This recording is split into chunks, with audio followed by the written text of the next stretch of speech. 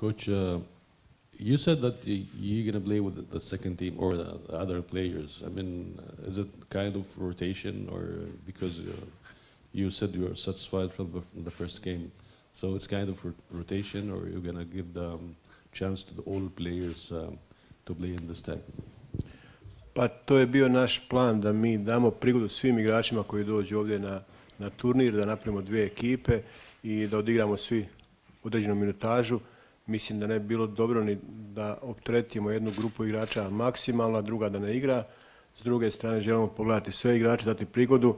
E, rekao sam malo prije da ne želim govoriti o nekom second team. Mi imamo tih 20, 20 igrača plus tri vratara ovdje, oni svi su oni prvi tim, svi su oni reprezentacija Hrvatske.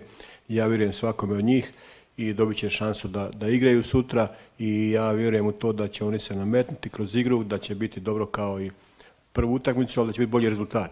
E, mi imamo zaista kvalitetnu reprezentaciju, dobre igrače koji mogu u svakom trenutku zamijeniti ove druge, tako da na to računam i, i to je bio moj plan kad smo dolazili, da svi igrači koji su došli ovdje dobiju minutažu.